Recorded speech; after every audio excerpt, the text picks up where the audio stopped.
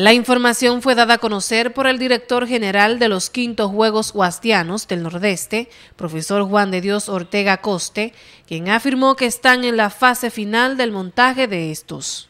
Serán inaugurados el próximo 20 del corriente mes y que dicha programación eh, va a culminar el 4 de octubre.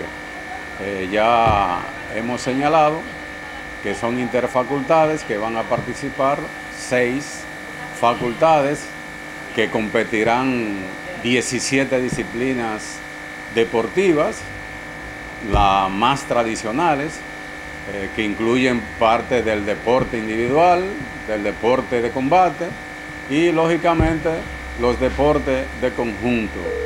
Eh, ya hemos anunciado y así está establecido en los reglamentos generales que en esta versión, en la quinta versión de estos juegos, no solo pueden participar los matriculados, también los profesores, los empleados, los familiares de estos dos últimos, los egresados y hasta los estudiantes matriculados en la sede que tengan su domicilio en la región del Nordeste también pueden participar. O sea que llamamos toda esta población, estos pobladores guasdianos y guasdianas, a pasar por la, oficina de los juegos, que está ubicada en Bienestar Estudiantil, para que llene su, su, su ficha.